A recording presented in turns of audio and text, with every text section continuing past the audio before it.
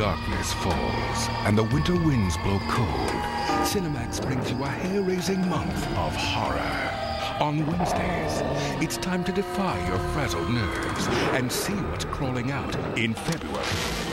There's no telling what to expect. At the stroke of eight on Wednesday Horror, you'll see curious tales of unseemly death and unnatural life. Only on Cinemax. It was the perfect crime, with the perfect victim and the perfect alibi. I'm Jack Lambert. Only one problem. It was the wrong guy. My father was not a Nazi murderer. Now only one punishment fits the crime. I don't like having sex. A life sentence. Dan Aykroyd, Lily Tomlin, Jack Lemmon, Getting Away with Murder. Another Friday premiere. Coming in March, only on Cinemax.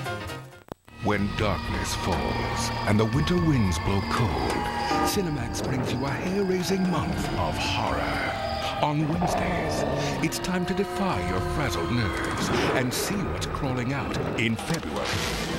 There's no telling what to expect. At the stroke of eight on Wednesday Horror, you'll see curious tales of unseemly death and unnatural life. It's time to confront your anxiety before it's too late.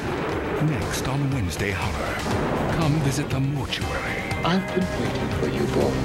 that will scare you to death. Executive producer Spike Lee brings you Tales from the Hood, this week's Wednesday Horror Eddy on Cinemax. On a distant planet in the year 2078, the geniuses who started a hopeless, never-ending war To invade, attack, and extinguish the enemy. produced a deadly species of weaponry. Are they machines? Where are they coming from? Underground. Screamers. A little early in the day for that. Yeah. Another Friday premiere, February 28th, only on Cinemax.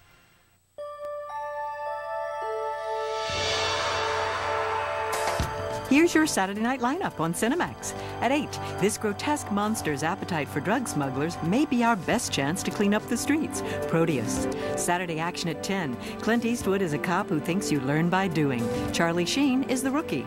And at 12.05, a photographer signs with an escort service and becomes exposed in ways she never dreamed. Call Girl. You're watching Cinemax, the best network for movies on TV.